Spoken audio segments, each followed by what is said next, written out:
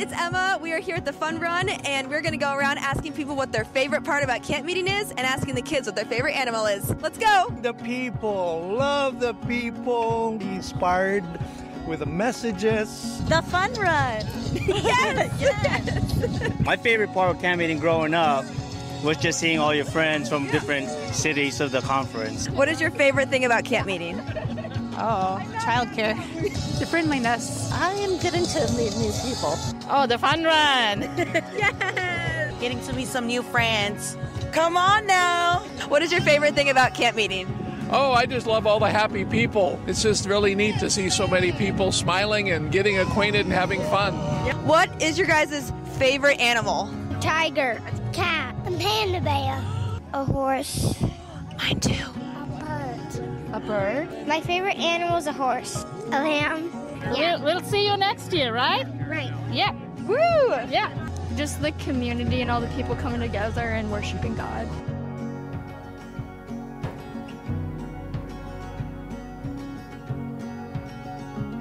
Trust in the Lord with all your heart and lean not on your own understanding.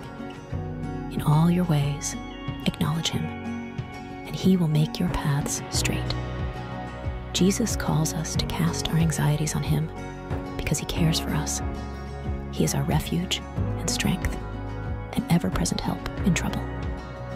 When the storms of life rage and the waves threaten to overwhelm, remember his words Peace, be still. He is the Good Shepherd who lays down his life for his sheep. Even when we walk through the darkest valley, we need not fear, for he is with us. His rod and his staff, they comfort us. Let's place our trust in Jesus, who is the same yesterday, today, and forever. As we gather to worship, let our hearts be still and know that he is God.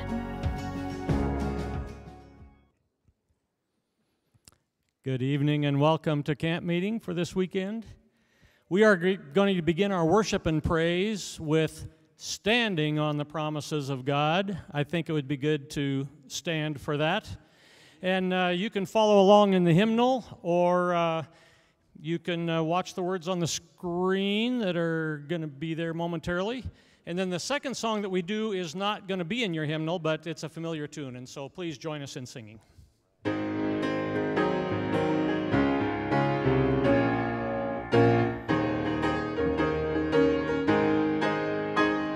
Standing on the promises of Christ my King, through eternal ages let his praises ring. Glory in the highest I will shout and sing, standing on the promises of God. Standing, standing, standing on the promises of God, my Savior. Standing,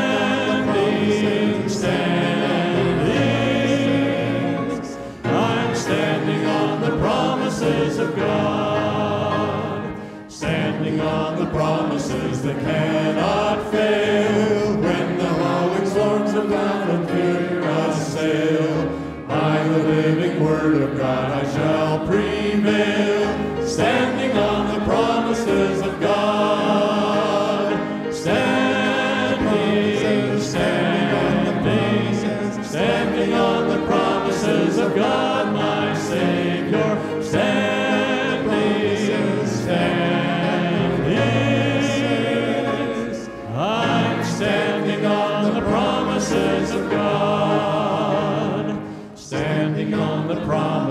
of Christ my Lord, bound to him eternally by love's strong cord, overcoming daily with the Spirit's sword, standing on the promises of God.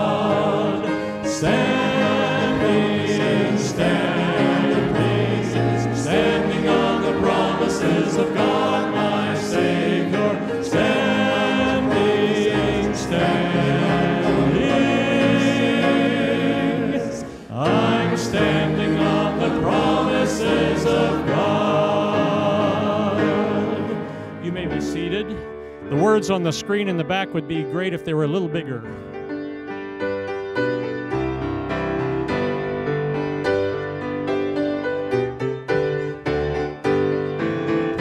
Oh, tell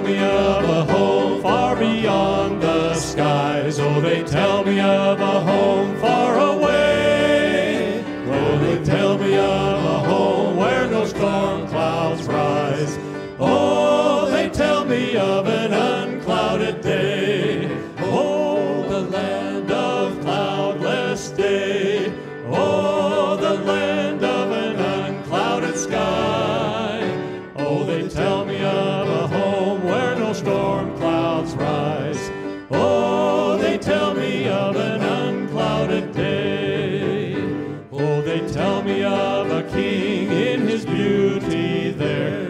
tell me that mine eyes shall behold where he sits on the throne that is whiter than snow in the city that is made of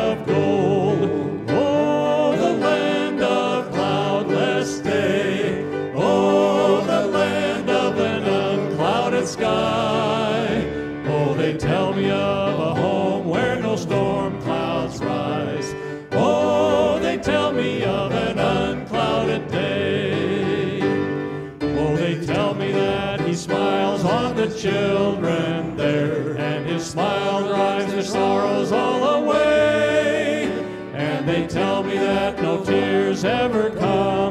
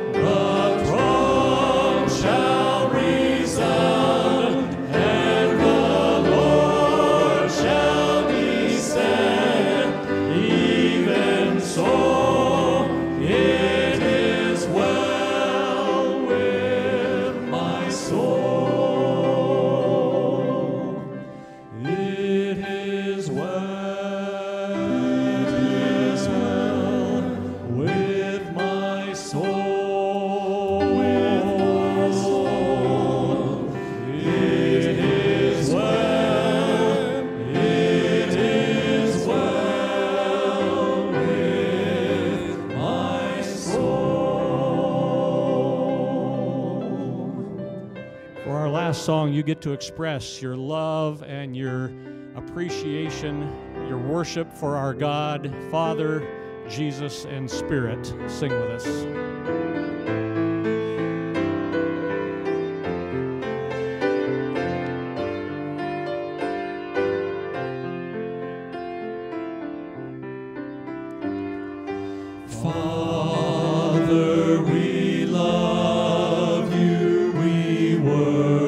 Worship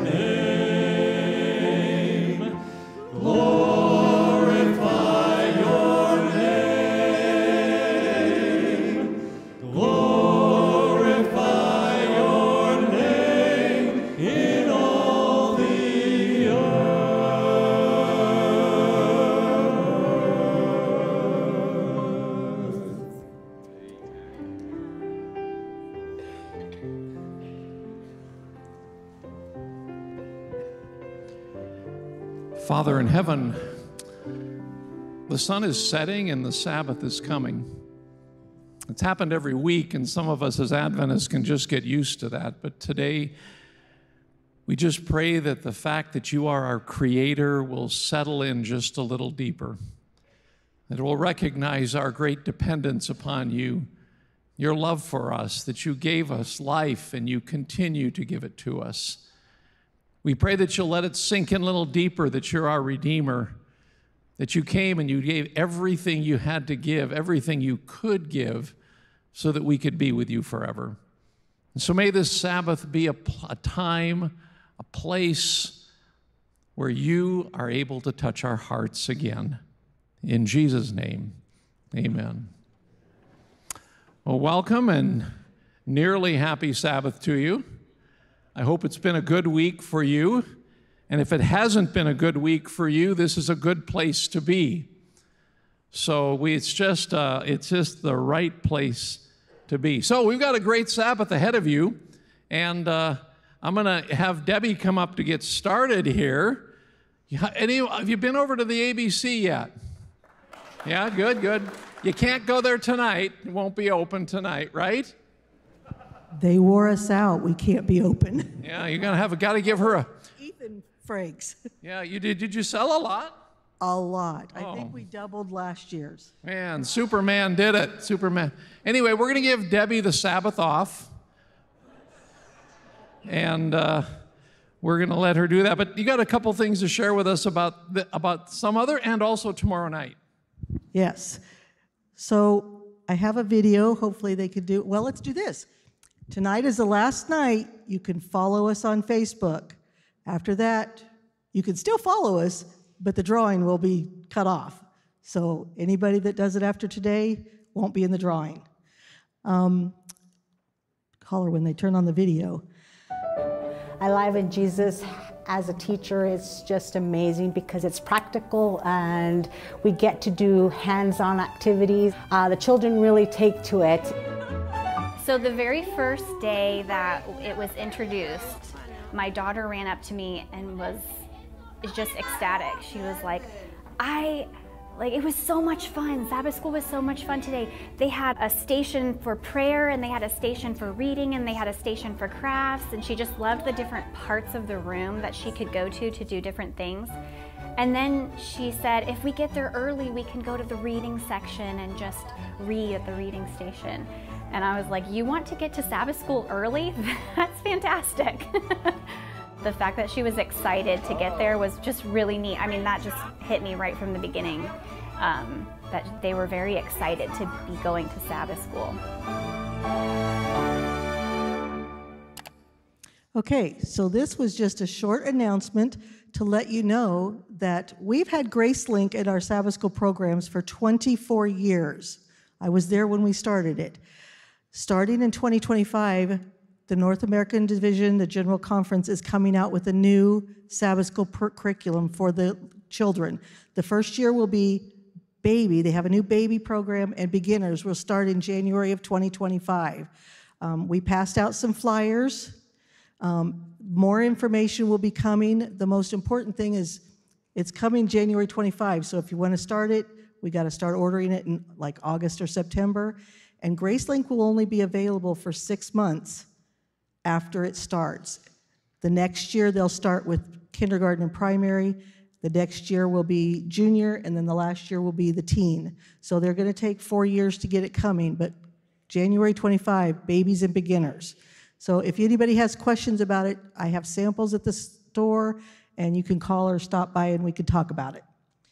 Um, the one other thing I wanted to mention is our speaker tonight has just told me that tomorrow night, after the meeting, we will be opening the store and he will come by and sign books if you want to have your book signed. Now, I know a lot of people have bought them, so if you bought them, bring them by or come by. We still have plenty left. Um, we will be open tomorrow night from 9 to 10:30, and then if you still forgot something on your way out of town Sunday, from 9 until 3. So stop by and see us, and if you have any questions, give us a call. Thank you, Debbie. Thank you. Also, uh, we have a guest with us tonight from the North American Division. If you've been in any of the health lectures, you've met her.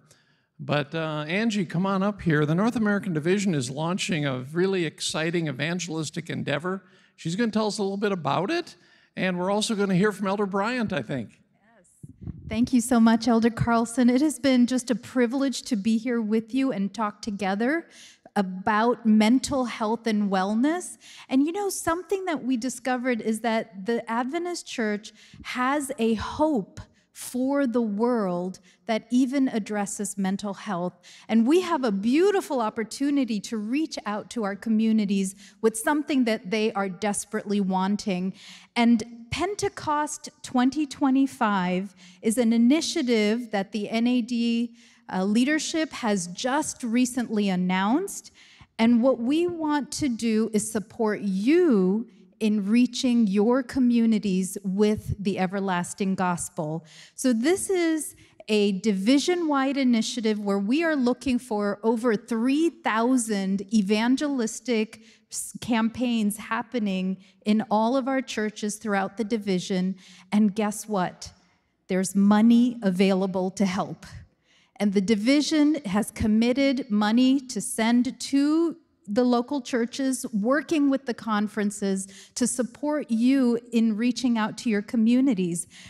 Before you day, or as you leave today, you will all receive a little card that will link to the website where there's information, where you can apply for the funding and other resources for you. We really want you to work with the conferences, Elder Carlson. You're the ones here locally who are making the difference in the communities. We just want to help you do that.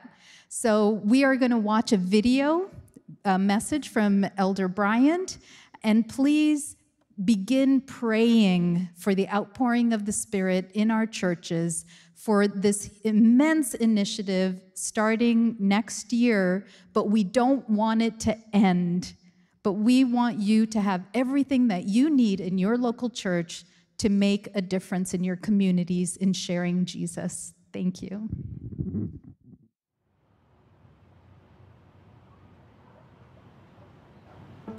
This is a church where I started my pastoral ministry about 40 years ago. Over a year ago, in attending this church, there were only five members attending on a regular basis. We conducted an evangelistic meeting last year in August, and 19 precious souls were baptized.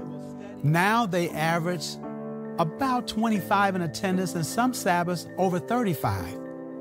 They are planning to be a part of Pentecost 2025. Pentecost 2025 is not an event, it is a comprehensive initiative encompassing all the ministries of Jesus the compassion ministry of Jesus, the teaching ministry of Jesus, and the discipling ministry of Jesus. At its core, Pentecost 2025 is an acknowledgement of our need for the latter rain of the Holy Spirit. It is a commitment to pray earnestly for the outpouring of this latter rain. It is a commitment to engage in the compassionate ministry of Jesus through community activities. It is a commitment to harvest the interests of those who are open to knowing Jesus. It is a commitment to proclaim the everlasting gospel of Jesus Christ it is a commitment to engage in discipling new members. And finally, it is a commitment to start the cycle all over again. We're challenging all of our pastors and laypersons across the North American Division territory to collectively conduct 3,000 plus meetings. If you've never conducted a proclamation meeting before, then this is the time for you.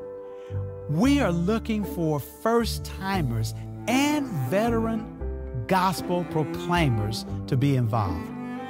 Pentecost started in a small place, not unlike this, and God blessed mightily.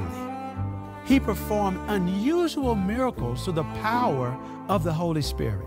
And today, we're asking for those same miracles through His power. Let's join together and pray earnestly for the outpouring of the latter rain and commit to proclaiming the everlasting gospel of Jesus Christ unlike we ever have before because we're asking for the Holy Spirit unlike we ever have before. Let's have Pentecost again in 2025. Come join us. Come join us. Come join us.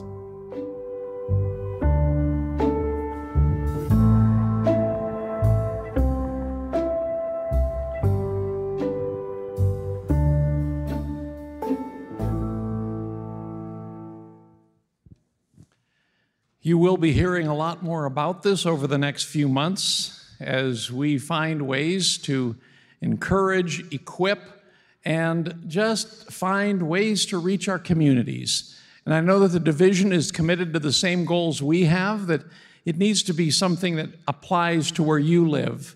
It, will not be a one size fits all. So pray about it. Please do. Check the website out when you get the card as you leave. Keep it in mind 2025 is a really special year of reaching out with the message of hope. So, we do have a great Sabbath. Just quickly run through it. you know, you know it. I hope you got your, your program. Um, it's all in there, but tomorrow morning it all starts at 7 o'clock. The only little change is it's going to be down in Heartland C. We need to get a few things ready for the services, and rather than overlap a little bit for our sound people, we'll be having that. And uh, Craig Carr will be Craig Carr will be sharing his last message with us. And uh, down in Heartland i think I know what you're telling me. Okay, tell me if I'm not. So go there, go there. Nine o'clock is our first worship service. I'll be sharing a message, and uh, you're welcome to come and, and just be blessed by that. I pray that it's something that is relevant to your life tomorrow. But that'll be at nine o'clock right here. So remember that. 10:15, we have Sabbath school. Lots of ideas, testimonies, some good lesson study. You'll enjoy it. And so be here for that. And then at 11:30, Carl Hafner is back again for that. And then at 7:30 tomorrow night again Carl will be preaching the final message of our time together. Tomorrow afternoon, Rebecca St. James, 3:30. Um, you know, if you're from the Lincoln area, um, this would be something that would be worthwhile asking and telling your friends about. That uh, invite them to come. It will be a testimony of not only from her, but just of what the Adventist church, uh, an, an, idea to get them in and, and to just get acquainted. So remember to do just that as well. Otherwise, it's just going to be a great weekend. God is going to bless, and uh, we're just looking forward to seeing good things happen. Now, also, if you're in the choir and orchestra, we've got a treat again tomorrow. Um, they, have got a lot of great people that have pulled themselves together and been working hard. But right after the service tonight, orchestra come up here, choir members, you go downstairs and do. Oh, that's what you were trying to tell me. I got it perfect. Choir members, don't go downstairs. All of you up here. Yeah, all right, good. And uh, so, all of you come up here for the final rehearsal and uh, they'll be part of our services tomorrow. So, again, thank you for being here today, and may God bless us as we just seek Him during this worship time.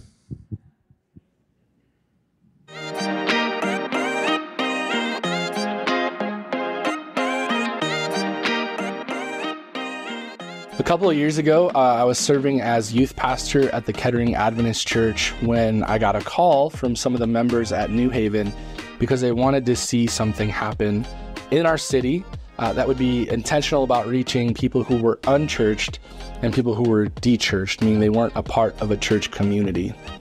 And it's been amazing because we've only been meeting for about a year and a half. And in that time, God has done so much to bless the ministry of Commons here on the campus of New Haven. And one of the ways I think God has moved the most isn't the numbers of people that are coming, isn't the aesthetic changes we've done to the room, but it's the life changes that we've been seeing happening in the ministries that have been growing as a result of it. Commons isn't just a worship service, but it is a place for people to plug into ministries and find community and find family.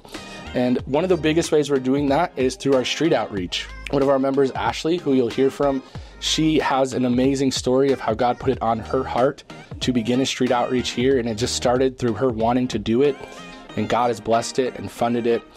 And it's just so beautiful to have people, people that you'll hear from in these testimonies, who have said, Hey, I started coming here to this church this way, and now that I've been coming to this church and meeting Jesus and journeying through the program, I'm actually a different person. Because that's really what the gospel's about it's about life change. I'm Ashley Barnett, and uh, I want to love more and love out loud. There was addictions in my life growing up, and uh, when the Lord uh, met me, um, I decided to follow, and following Him uh, put me on the streets of Kansas City. You know, God is faithful. Um, it started with some banana bread that I baked for the homeless outreach, and then uh, it turned into a food truck. And so Jesus asked, What do you have? I had some rotten bananas and I was coming out of my addiction. It was painful, but I knew right then and there I had a gift that God wanted to use. We serve at Washington Park on Friday nights. Uh, we used to have a Bible study that starts at 3 uh, to 4, and then from 5 to 7, we serve. Uh, we serve off our food truck. In between 100 to 200 people, it fluctuates with the seasons, but we try to make sure everybody gets fed. Uh, we'd really like to have some more outlets for uh, funding for food so we can make the meals simpler to be able to not have people to have to stand in line when it's 100 degrees. Now that we're able to meet basic needs and actually even have a church where people feel comfortable to come, um, there's more people that are getting prayed for, and that's the ultimate goal as well is to find community. And everybody here has such a place um, so many people are so kind and loving and really are just meeting people where they're at, like Jesus does for us every day. So, so I have two friends of mine that uh, that I really love and want uh, people to hear uh, their story and how uh, this church has impacted them and their lives. Yep, that's it. In the past, I, I'm I'm a believer, totally 100 percent. But you know, since you introduced me to Commons. And I was kind of reluctant at first, but you know, I've tried other churches and you don't feel the love. But when you brought me here, you could feel the love that was coming here. And people, they actually care about. They don't care where you come from, where you've been. They genuine care. My name's Albert Datus Newkirk, but you can call me Red Dog. We went from church to church to church. Yeah. This church didn't work out. That one didn't work out. We showed up here and uh, fell in love again. Yeah. You know, with each other, with the church. I've been homeless. I'm homeless now. Uh, I have a roof over my head, but it's not my roof. Uh, having a hard time finding homes and stuff. And because of my criminal history and all that, and that's cool because, you know, the Lord has put it above. I give it to the Lord, and he, I told him, man, make whatever path possible. And then we went and got jobs and at Sonic. Where at, though? Right across the street from, from the church. Sonic on 87th, right by, right across. And they're cool enough to they're cool enough to give me time off to, to volunteer on Fridays Amen. with the Commons yeah. and Saturday mornings off to go to church. I've never felt more loved in my life. Amen. You know, I mean, I'm rich. I'm rich. Amen. I got you. I got Dude. I got Eddie. I got Pastor Cal. You know, and when we walk through this church, everybody smiles. Everybody loves. You know what? Don't make me say it. Yeah, absolutely. And you know, uh, and like we go out on Fridays and we serve homeless and we feed 100, 150 people and we go out and we minister to them. Put down a bottle, pick up a Bible. Somebody asked me, hey man, where, how'd you get from that point to where you are now? Well, I believe, first of all. Yes. You know, first and most, more, I believe. Secondly, I have something to work toward. You know, I feel I have something to work toward. And thirdly, I have a family behind me. You know, I have people who I know love me and support me and uh, who have my back. That makes it so much easier to, to know that you're loved, to know, and I feel that here at Commons, you know. I get to go, and it's a privilege, and it's a, and it's and it's excitement, and it's fun, and and it and it fills a void in my life that nothing else can.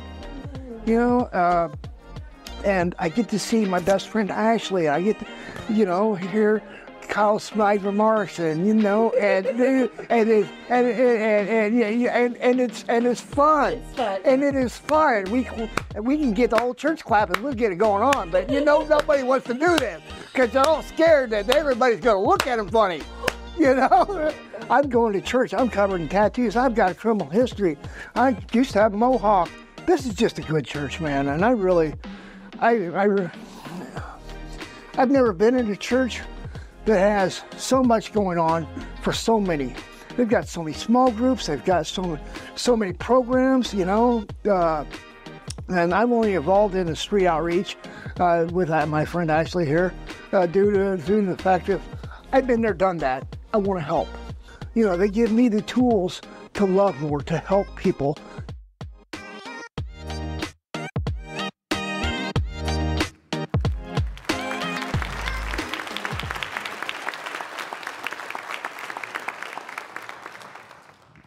Well, I'm loving Red Dog, huh? Hey, if you haven't been, I mean, if you get to Kansas City on a Friday or a Saturday, you've got to stop by the Commons. I mean, it's an amazing ministry. I know I'm not up here to talk about that, but I just got to say it. I was there uh, one Friday night, and I met a young man who had been free from meth for about four years. He had relapsed a few weeks before. He was coming back, and that Friday night, he needed a place to worship so he wouldn't do math. He saw an advertisement on Instagram and he was there. See, that's the Seventh day Adventist Church in Kansas, Nebraska making a difference in that young man's life. Yeah, visit. See an experience of a city, of a church reaching a city, a city of, uh, that really needs Jesus. So, one of the things that I do, I try to do anyway, is uh, keep my feet on the ground in terms of evangelism in my own local church because evangelism is not easy, and I don't want to be up here telling you, you need to be involved in evangelism while I'm not. So uh, I've been, a, a Voice of Prophecy has a brand new online advertising uh, system. So we're trying that out and we're getting these, these leads. And I want to tell you, it is something. I've followed up card leads for years, decades, and I don't like it. I don't know about you, but I don't like it. You go to 40 doors and you get maybe three interests. You know, the, the, the number, it's high numbers, right? So with these, they, they, they, they, they put in their name, they ask for the Bible studies, you show up at the door, and the majority of mine are like, oh, thank you, I've been, I've been waiting for you. Like, really? I almost want to ask them, really? So, but not all of them are like that. So I was going to, to one door and he's just dropping off there. You know that Google doorbell they got? Yeah, some people got on their door. so it was just me and my wife and the Google doorbell. That's all it was. Week after week after week, and I just stick it in the door. But there was something as I would, I would get discouraged as I'm, I'm leaving. I'm like, Lord, what? Just God just seemed to just you stay, you just deliver all those Bible studies. And it's not like that at every door, but at this door, you just deliver all those Bible studies. So I just go back week after week. And one day, I'm a little discouraged. And so I'm not going to ring that doorbell. I'm going to knock, and I'm going to knock hard. And I've gotten trouble with that in my young days. You know, people open the door, what are you pounding on my door? But I'm just, what do I got to lose? So I whack on that door, and uh, it opens. And there's a young man there. And I said, Hey, uh, is, is Sarah here? And he points to the couch, and it's Sarah. And I say, Hi, Sarah. I'm, you know, the VOP guy, Voice of Prophecy guy, and here's your Bible study. I hope you enjoy them. And got all their names. That was Edwin, that was Sarah, and I take off. Then weeks go by with me and the Google doorbell, just that. And then one day, again, the door opens and there's Edwin. He's about, don't know, 20s. And he's, he's just kind of standing there and he says, Hey, is Sarah? Nope. Well, here's her Bible study. And, and uh, he kind of just kind of awkwardly lets me into the house. And I, I, say to him while I'm standing there, he's like, Can, can I pray for you before I go? And he, he's, uh, I guess. So I slap my arm around him and I, and I say, Well, what can I pray for, for you? He just shrugs his shoulders. He never had anybody pray for him, I don't guess. And, and so I just say, Lord, just help him, help him understand how much Jesus loves him. Just help him. Protect him, keep him, be with Sarah, Sarah's mother. Weeks go by again.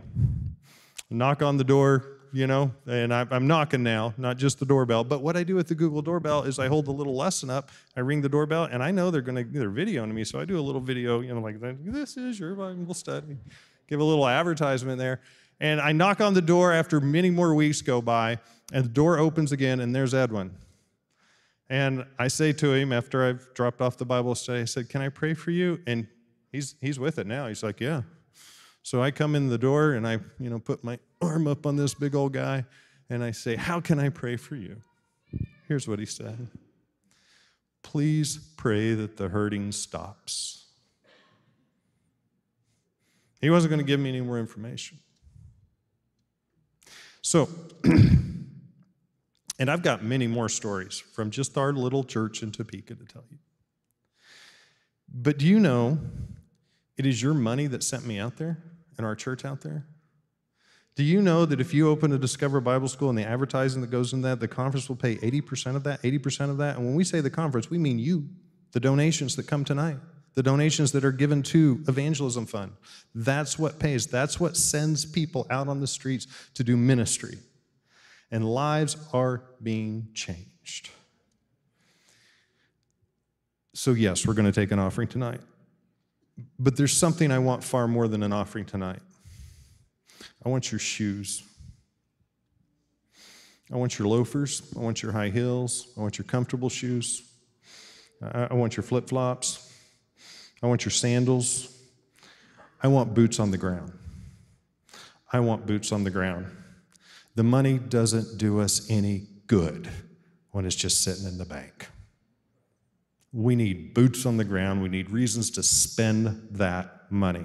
And here's something else. I'll just, uh, will you please, maybe nothing is going on in your church. Maybe there is. There's a lot going on in this conference, but maybe it's just God's putting it on your heart. Go to your pastor and say, We got to do something.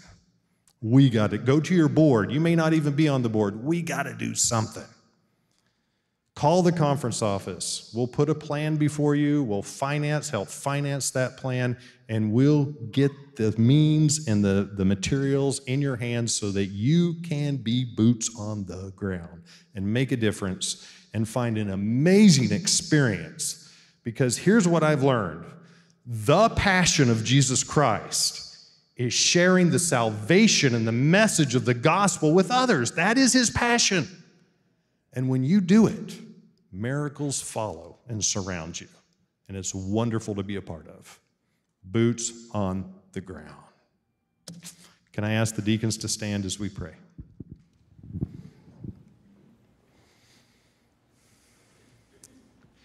Dear Heavenly Father, a substantial amount of money is about to come in to put materials in the hands of people who, who are sensing God's call in their hearts and lives.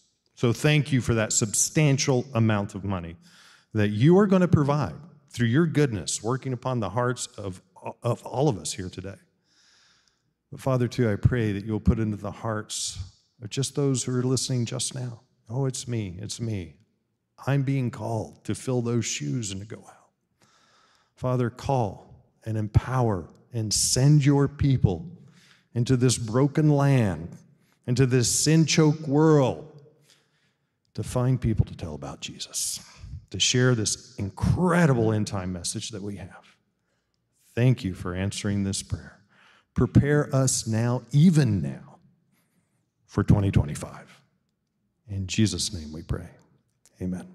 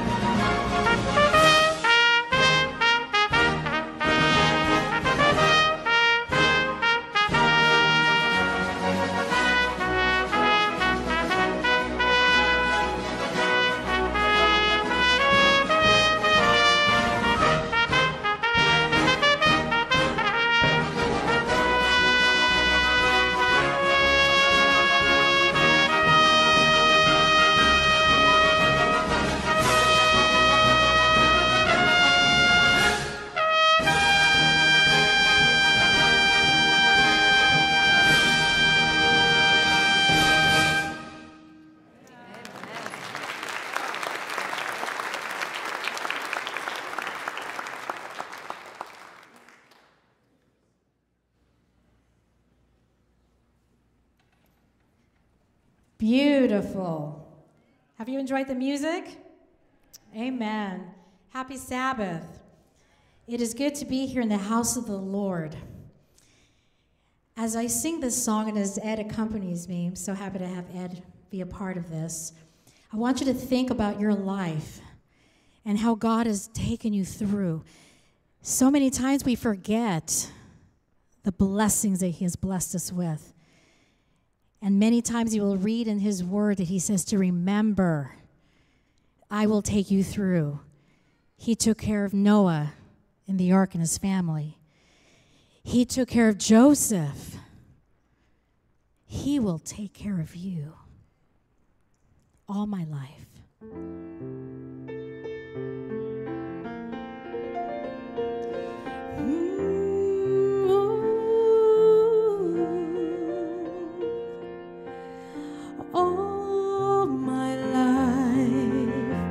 Through the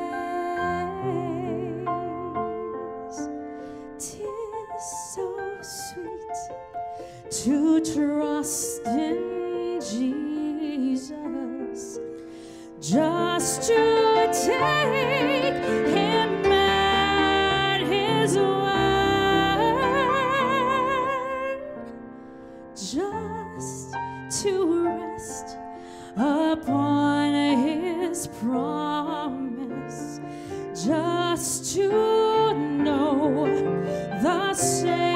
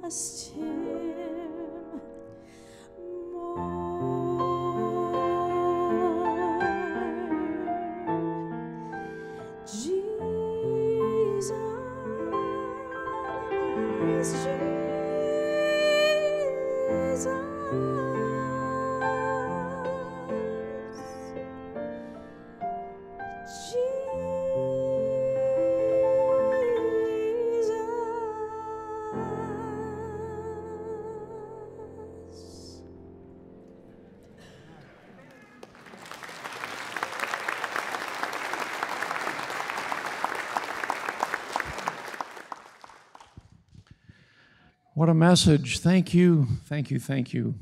It is so good to trust in Him. We're glad that uh, Carl Hafner has joined us. Welcome to Lincoln, Nebraska. We're grateful you're here. Um, you can read about him. Uh, you know, he's, he's just a lifetime Adventist, faithful gospel preacher. He had to grow up in a pastor's family. He's got, you know, he's got roots that go as deep as can be. And uh, he stayed faithful to those throughout the year. He has been trusted to pastor some of our largest congregations and he's done well at keeping the gospel clear and keeping the mission focused. And we thank him that he's here this weekend to do just that. But I also thank him for ministering to my grandkids. Yeah, yeah, when he was pastor at Kettering, we had two children that lived there. One of them was on his staff, which he had to put up with. Another one was there, but we were we so we would hear Carl preach when we would go and visit our family. Sorry, Carl, we didn't come there for you but we did come there for the family. I'll never forget one Sabbath afternoon. You know, six adults and five children at the table after church. And someone made the comment, I don't remember who it was. Someone made the comment, an adult, that was a good sermon today. Now, that's not usually how dinner time conversations go after church about the pastor. But what I thought I'll never forget is all of a sudden one of the kids said, It was a good sermon. And all of a sudden another one started telling a story, but he couldn't remember all of it. And another one of the kids said, I think it was this way. And they started talking about Pastor Hafner. And then finally, one of the little ones sitting at the table, he said, I like our pastor. I'll tell you, that made all the difference to me. When people like their pastor, when kids go, I like my pastor.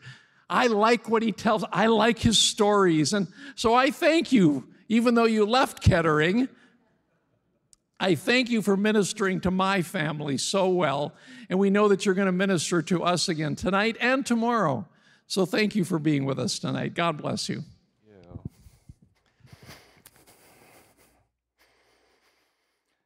Wow.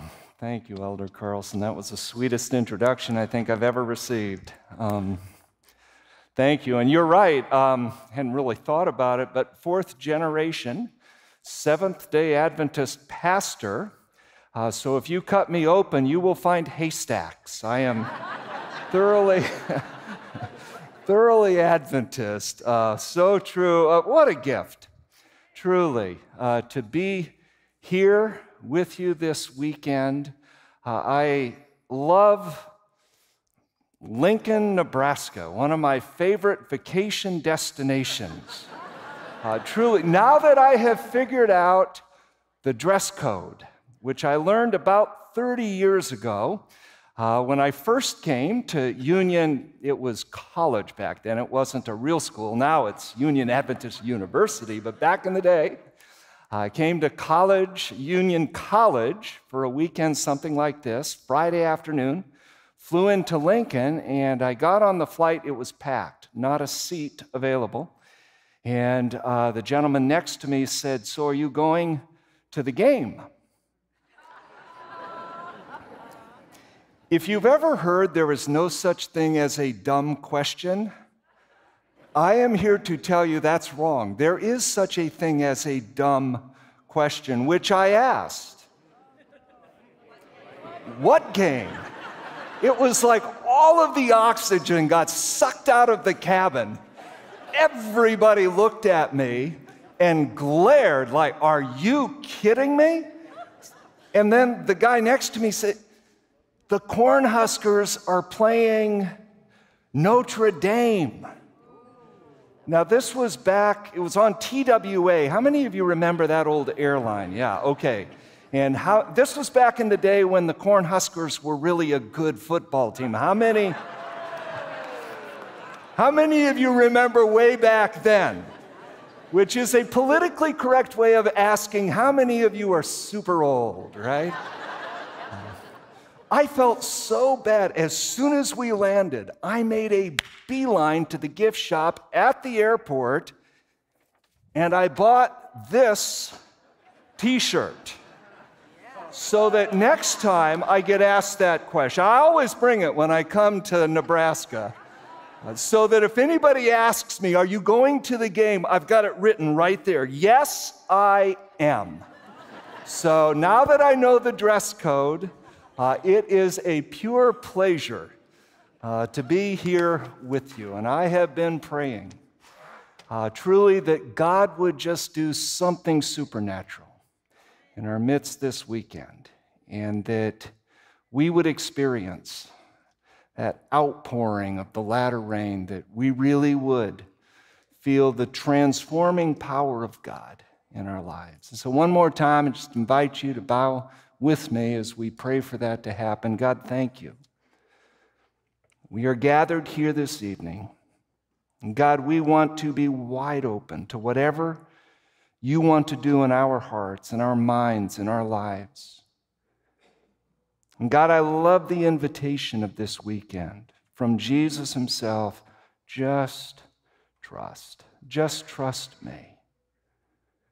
And so, God, I pray that you would show up, perhaps in surprising, definitively supernatural ways, so that when our gathering is over here, we would all know without a doubt that we have been with Jesus, in whose name we pray. Amen. So, how many of you are super amped about the Olympics? Anybody?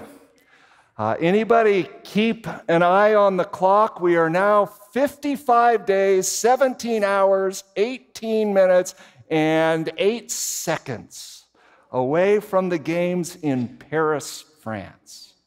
So, if you love the Olympics, we're going to start with something fun. I have a short five question quiz. Okay, now it's only fun if everybody plays. So, commit to an answer and we'll see how we all do, right? So, just raise your hand when I give you the right answer. We'll start with this question Where did the Olympics get its name? Was it A, it was a type of Greek cheese? Was it B, after a Roman emperor? Was it C, after a religious sanctuary? Or D, it's where cameras were invented. So, how many say A, cheese? B, emperor? All right. C, a religious ceremony? Good. And D, any photographers here? No. Okay. The actual answer is C, after a sanctuary built in honor of Zeus. All right. Doing all right? Number two, true or false? The main event at the ancient games was a marathon. How many say true? How many say false? Okay, I think it was exactly 50 50. See, this is the church these days. It's so polarized, uh, just so divided over anything, everything. The answer is false. Marathon actually wasn't introduced to the Olympics until the modern games, 1897. Next question.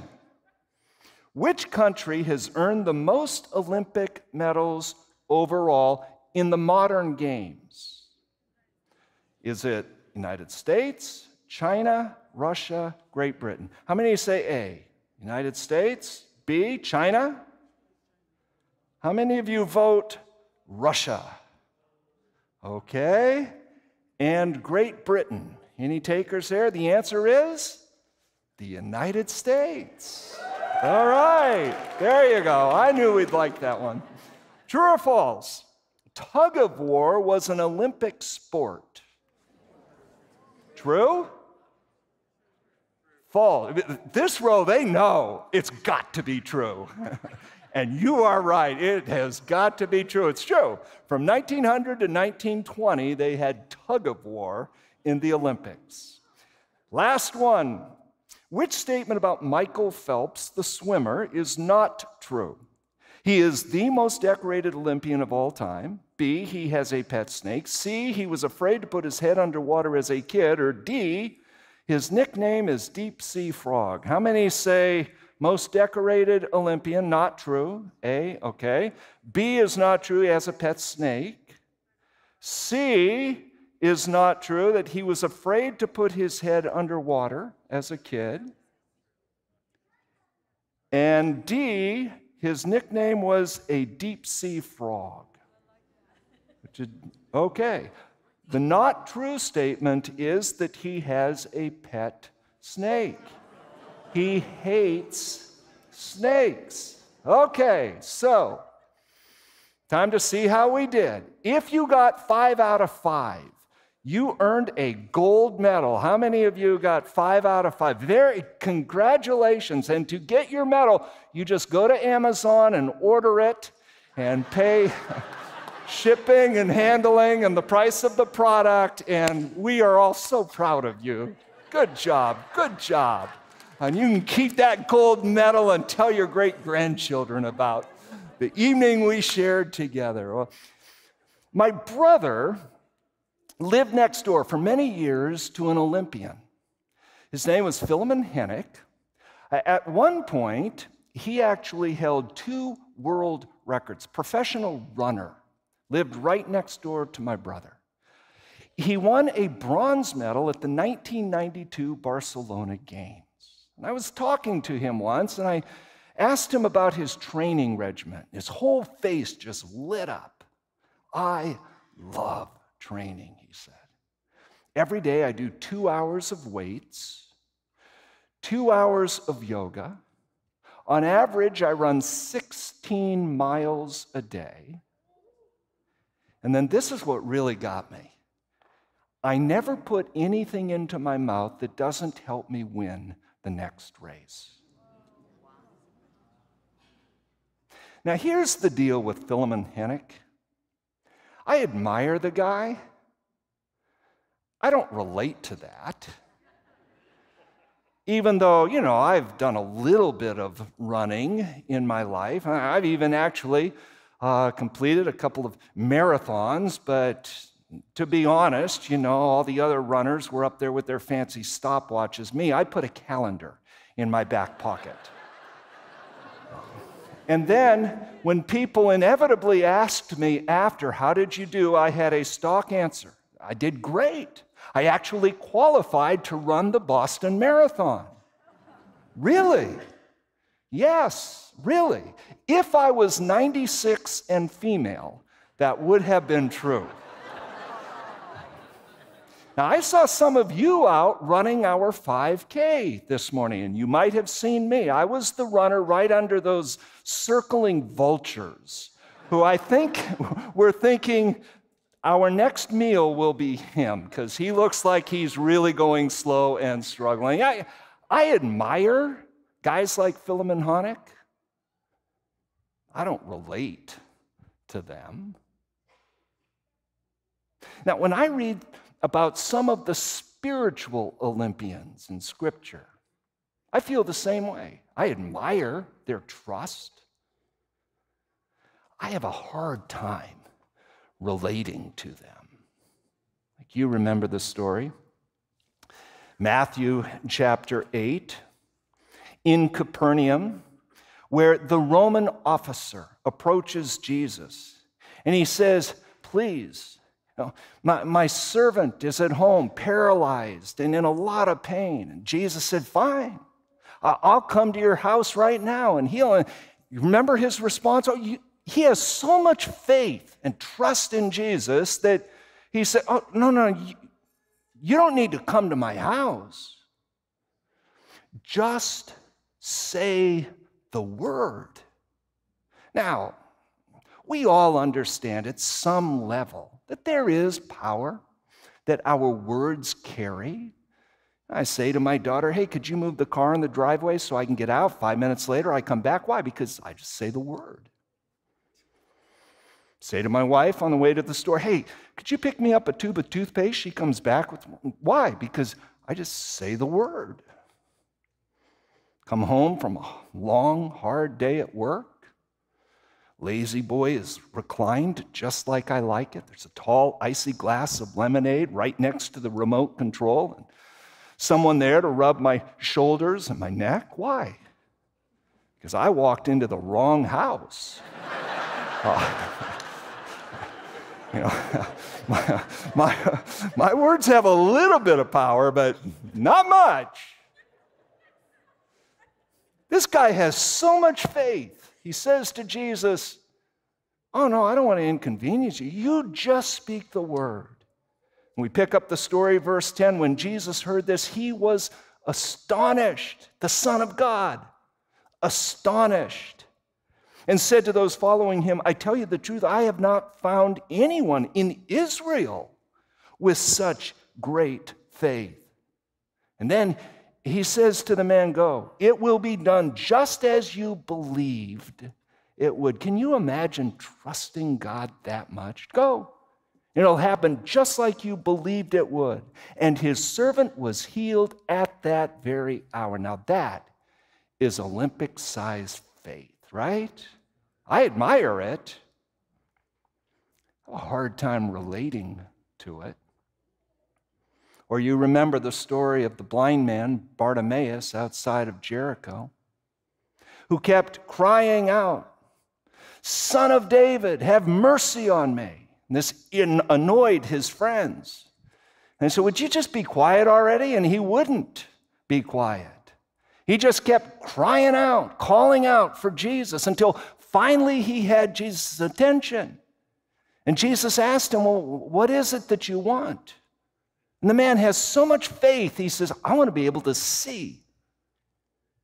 Mark 10, verse 52 Go, said Jesus. Your faith has healed you. Immediately, he received his sight and followed Jesus along the road. That's Olympic sized faith. I admire it.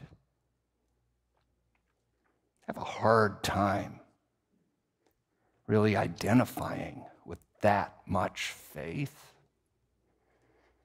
Or what about the story of the woman who for 12 years had been hemorrhaging, exhausted all of her financial resources with the physicians of her day? But she had so much faith, she figured if I can just get into the presence of Jesus, brush up against him, I know that I will be healed. And so you remember the story. She pushes her way through the massive mob of people surrounding Jesus. And finally, she gets close enough and takes a swipe at his garment, touches it, and she feels this power just surging through her. And Jesus, the text tells us, realized that power had gone out from him. He turned around in the crowd, and asked, Who touched my clothes? and of course, the disciples are just incredulous here. Like, what are you talking about? You see the people crowding against you, his disciples answered, and yet you can ask, Who touched me? But Jesus kept looking around to see who had done it. Then the woman, knowing what had happened to her, came, fell at his feet, and trembling with fear, told him the whole truth he said to her, Daughter, your faith has healed you. Go in peace and be freed from your suffering. That's Olympic sized faith. The Bible is packed with stories like this, where people just have so much trust. And then they experience, these unbelievable miracles. And I love the stories, but to me, they kind of feel like supernatural superheroes, like larger than life. I look at them much like the students saw their substitute teacher that day. Now, this particular classroom of kids had a reputation as the most unruly students in the entire county. So it was very difficult to get any substitute teacher brave enough to walk into that lion's den, but This guy was willing, young guy, had recently had a cycling accident, and so he had to wear this plaster cast around his chest. But if he wore a loose fitting shirt, you couldn't even tell. First day, walks into the classroom, all of the windows are wide open. There's quite a wind blowing through, which meant his tie was flopping around. First thing he does, walks over to the desk, grabs the stapler, boom, staples it to his chest.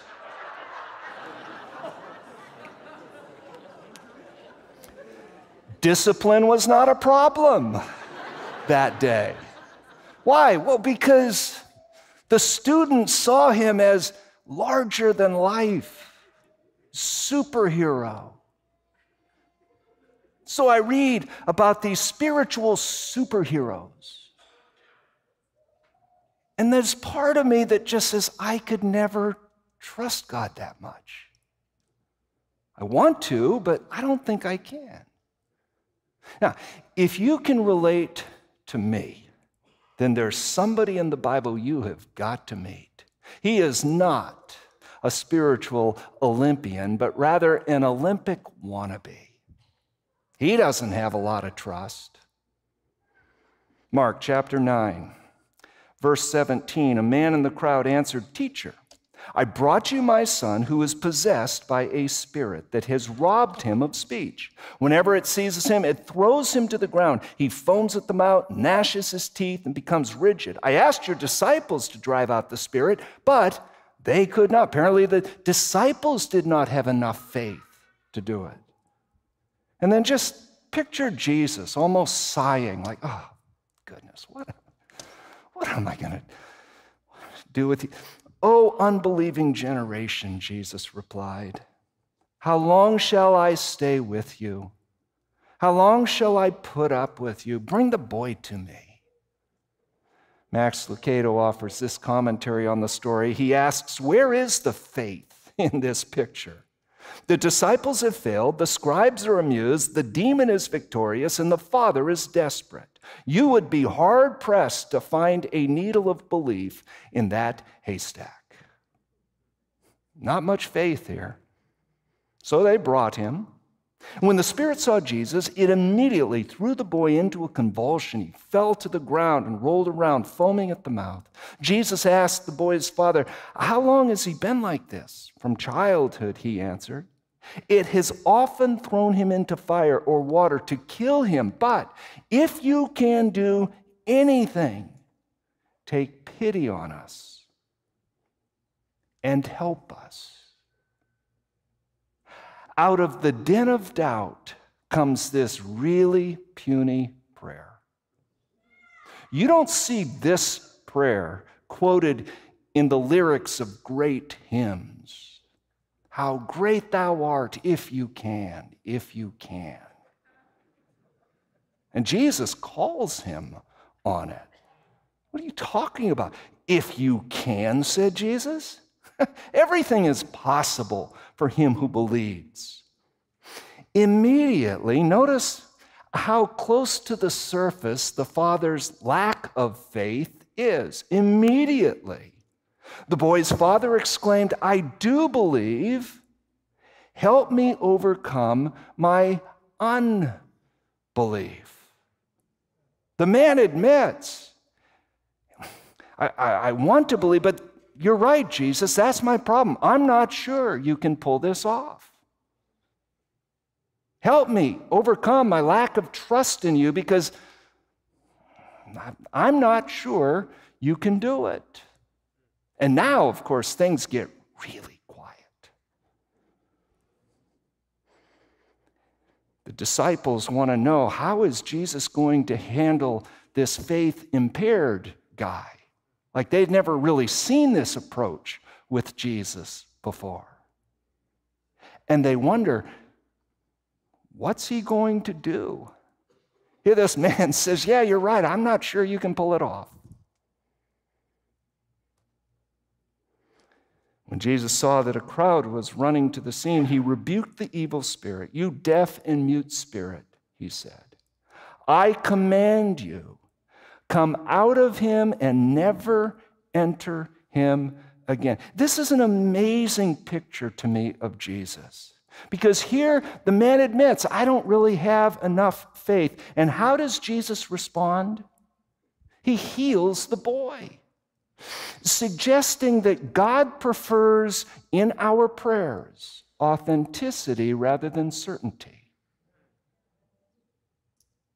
It's not about real pious sounding prayers or spiritual language, or if we can just figure out how to pray the right prayer, then we can manipulate God to do what we want Him to do. Or if we can get enough people in the church praying the right prayers, then that's enough faith. No.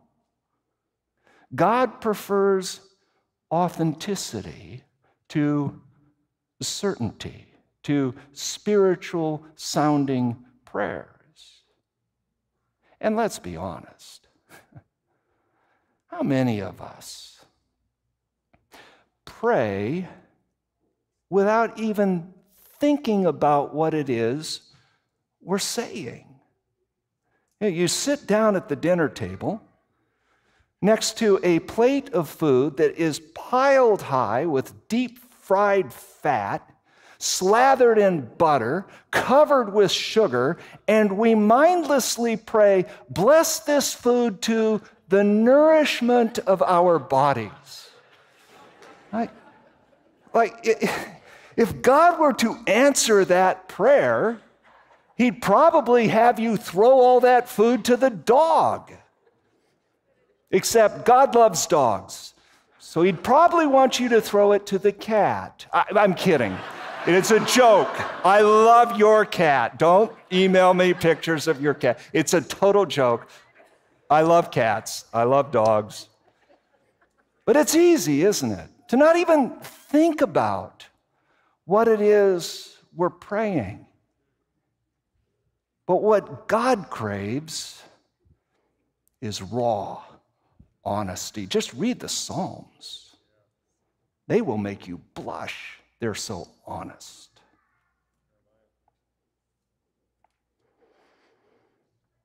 And the Spirit shrieked, convulsed him violently, and came out. The boy looked so much like a corpse that many said, He's dead. But Jesus took him by the hand, lifted him to his feet, and he stood up. Jesus healed the boy. It didn't take much faith at all. Because, see, the power of prayer is not in the one who prays, but in the one who hears the prayer.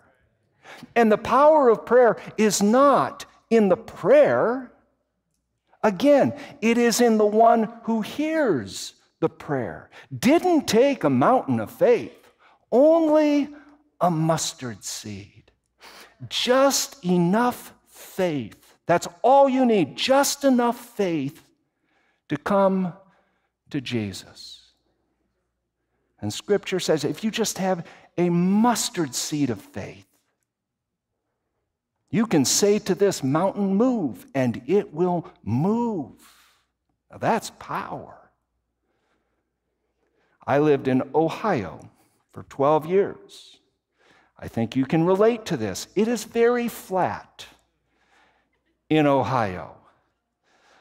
I remember visiting places like Colorado or Southern California or the Northwest and seeing these majestic mountains and thinking, oh, I just wish I had a mustard seed of faith to move that. They don't need all these mountains in Colorado. If I could just move one of the mountains back to Ohio, where it was so flat I could watch my dog run away for six weeks.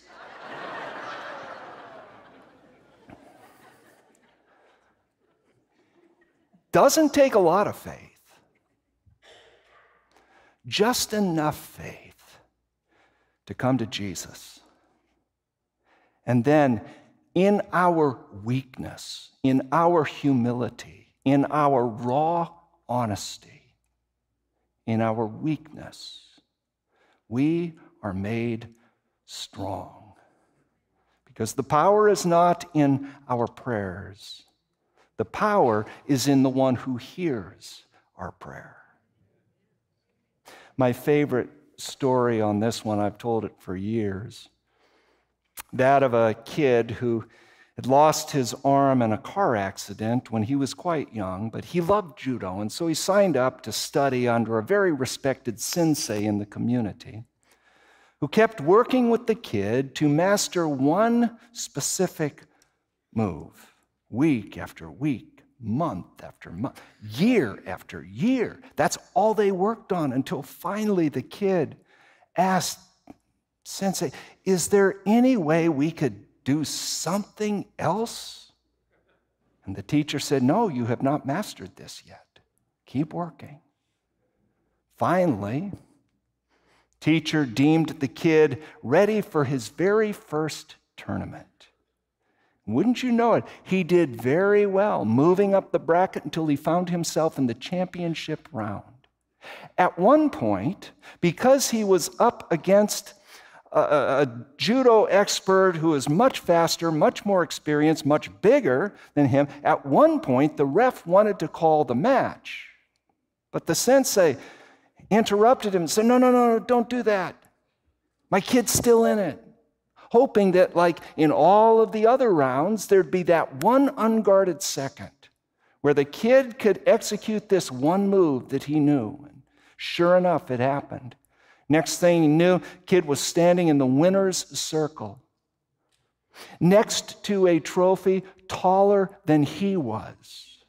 Like a trophy even more envied than your gold medal that you're going to get from Amazon. and as they were driving home, the kid, you know, they were debriefing the whole tournament experience, and the kid says to the sensei, uh, How on earth does this happen? Like, because you and I both know, I only know one move, and yet I won everything. The teacher said, Well, a couple of things. First, you have mastered one of the most difficult throws in judo. Secondly, the only known defense for that move is for the opponent to grab the left arm.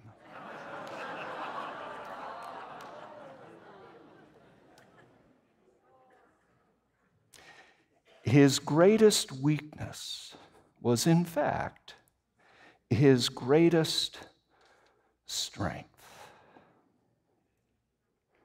So let's go back to the 1992 Olympics, where my brother's neighbor won a bronze medal. I am certain nobody remembers the name Philemon Hanneck from the Olympics. Nobody remembers the bronze medal winner in that race. But I'm also quite certain that most of us Remember an iconic picture from those games. Do you remember this picture? From the same games.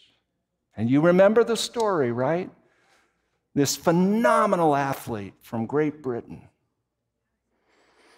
He was looking to set the world record, hands down favorite to win the 400 meters. And just as everybody predicted, with 175 yards left, he was cruising to the finish line. When he ripped his hamstring and crumpled to the ground in excruciating pain, paramedics scurried to the scene. They said to him, Derek, Uh, let's get you on the stretcher. We'll, we'll get you to a hospital. And he just stood there or just lied there, resolute, refusing to get put on the stretcher. And just then, a burly man sitting up in the stands pushed his way forward, down onto the track, shoved his way through the security personnel, and found his way to his son it was Jim Redmond, his dad. And Derek said, Dad, I didn't come here to start the race. I got to finish it. And the father said, Very well. We are going to finish it together. His father picked up that kid and slowly, oh, so slowly, they hobbled toward the finish line. Some accounts have it that of the 65,000 fans in the stands, there was not a dry eye anywhere.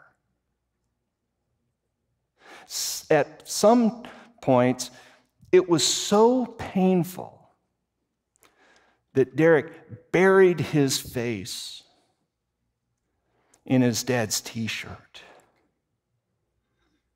But they finished. So let me ask you what is it that prompted dad to get up out of his seat and come to the rescue of his kid? Was it his boy's strength? Just the opposite. It was his kid's weakness, and he could not sit still. He had to come to the rescue. He had to. That's the Father's heart for you and me. In our humble weakness, there is something in his heart that compels him to come to us. It doesn't take a mountain of faith, friends, just a mustard seed, just enough faith to come to Jesus. And in our weakness, He will make us strong.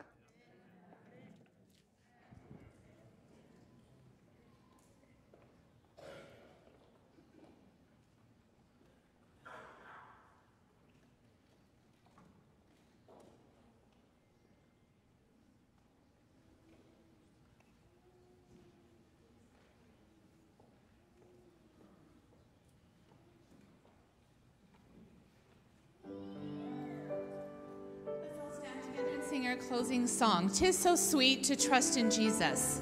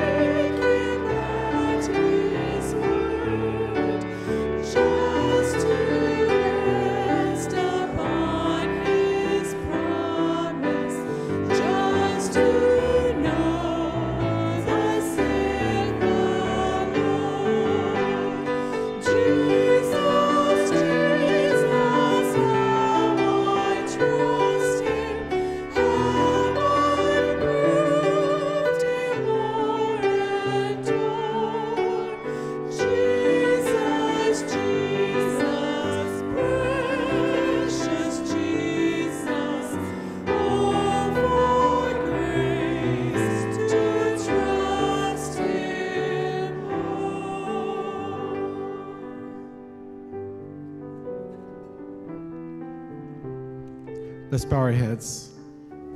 Our dear loving Heavenly Father, I fear that we're an unbelieving generation.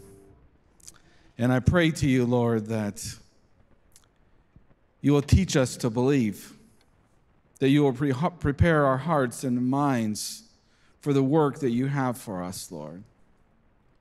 There's so much craziness in the world around us, there's so many things to distract us. I fear that we don't have the trust that we need. And on this Sabbath, at Camp Meeting 2024, I, I ask that you prepare our hearts to receive you, to be able to trust you, to hear your call, and finish this work. In Jesus' name, Amen.